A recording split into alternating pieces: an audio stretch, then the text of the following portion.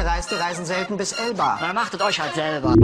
Hallo miteinander. Hallo Micha. Und zwar geht es darum, parallel Reihenverschaltung. Ja moin, aber Micha, vielleicht kannst du dich erinnern an Ivi-Blog, an das Video, wo er äh, ja ein, ein Kabel über die Module hatte und ex so extrem die Leistung eingebrochen ist. Jetzt dachte ich mir, Mensch, äh, das können wir doch jetzt mal äh, nachstellen. Ne? Ich tue jetzt einfach mal einen Streifen Klebeband nehmen. Wir simulieren jetzt mal ein Kabel, was weiß ich halt über alle Bede-Module. Na gut, machen wir es so. Ist natürlich jetzt ein ziemlich breites Kabel. Also ne, über beide Module drüber.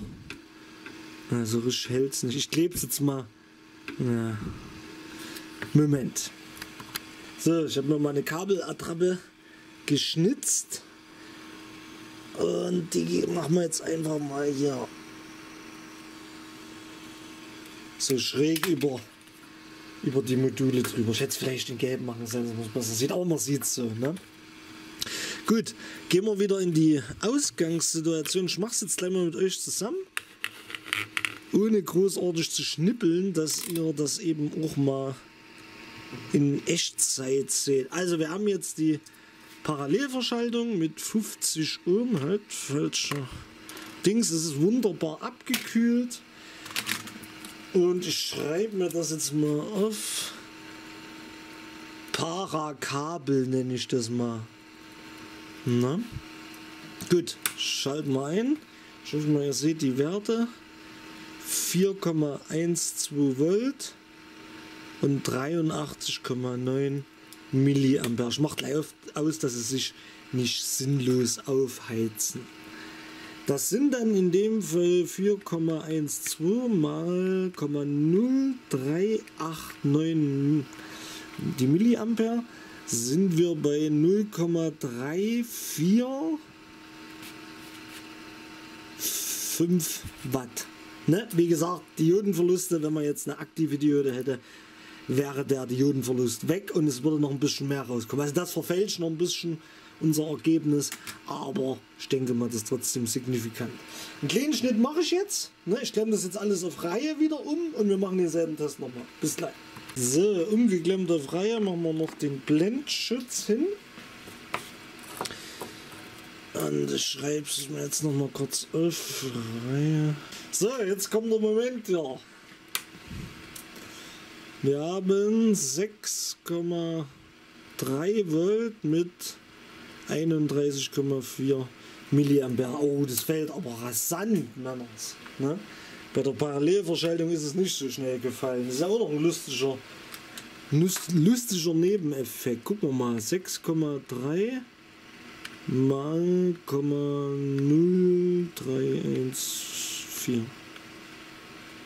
Das sind dann in dem Fall jetzt 0,917 Watt gegen 0,9 3, 4 hat man vorhin ausgerechnet. Sagen wir jetzt mal großzügig sind, runden wir mal bei Beten auf, hätten wir 3,5 oben und unten 0, ach Quatsch, 0,35 Watt und unten 0,2 Watt bei der Reihenschaltung. Ne? Also signifikanter Unterschied. Wir machen es jetzt so, ich rechne euch jetzt nochmal die Prozente aus und wir gehen von diesen 0,56 Watt Maximum aus. Ne? Gut, ich kann euch ja auch mal, komm, wir rechnen es gleich mal zusammen, die, die zwei Minuten brauche ich nicht noch einen Schnitt machen. Also dazu tun wir erstmal unseren Prozentwert festlegen. Wir rechnen mal schnell die Prozente. Wir haben 0,56 Watt maximal durch 100. Das sind dann 0,0056, das ist unser Rechenwert, was halt möglich wäre. Ne? Und jetzt nehmen wir einfach die 0,35 von der Parallelverschaltung durch 0,00, was hat man, 56. Das sind 62,5 Prozent. was die Parallelschaltung in dem Setup aus den zwei Modulen rausholt, prozentual. Und hier unten haben wir 0,2, wie gesagt, ein bisschen aufgerundet durch 0056 sind wir bei 35,7 Prozent. Ne? Also sind nicht ganz 100 Prozent Unterschied. Ja, warte, wir können es ja mal äh, schnell noch zu 62,5 Prozent minus 35,7 sind 26 Prozent effektiver oder was sagen wir jetzt, wir mal auf 27% effektiver Para mit 0,2 Volt Dioden. Ne? Wenn man jetzt, äh, also der Unterschied zur Gesamtleistung ist ja 26%, aber lasst euch da nicht durch, beziehungsweise 27%, wenn wir jetzt äh, im Stromrechnen haben wir 0,2 Watt und hier haben wir fast 0,4. Ne? Also es sind fast 100% mehr Leistung aus der Parallelverschaltung. In dem Fall, ich kann es euch ja jetzt nochmal zeigen, nicht, dass es heißt, ich habe irgendeinen Quatsch gemacht. Ne? Das ist hier der Streifen genauso wie vorhin. Ja, dieses, dieses Kabel, was jetzt eben Oberleitungskabel oder irgendein Quatsch. Ne? Also da ist das auf jeden Fall verheerend. Ne?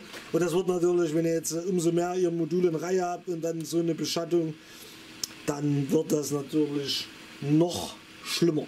Gut, ja Micha, kannst du wieder mal sehen, Digga, also das ist ein Ingenieur, schafft es nicht, den, den Sinn und Verstand aufzubringen, den Fehler zu erkennen, aber so ein dummer Kfzler wie ich, der kriegt's hin, Alter, kannst du, ich hab fertig, Digga.